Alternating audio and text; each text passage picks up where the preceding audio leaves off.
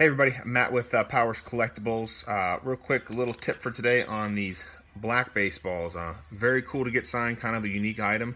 Uh, sometimes can be difficult to figure out what pen to use on them, so I've got a way to test it, um, the pen color without actually damaging the ball. Uh, all you're going to need, of course, is the baseball, the pen that you want to test. Uh, this one I've got is a Deco Color liquid gold here, um, and you're going to need a sandwich bag. And on the sandwich bag, you can see here, I've already written my signature on there. And all you're going to do is put the baseball in there, move around uh, to the sweet spot or wherever you want to get something signed. And now you can see what that pen looks like on that ball uh, without damaging the ball. So uh, hopefully that helps uh, you figure out what pen color works best for you. And if you get any questions, let me know. Sales at powerscollectibles.com.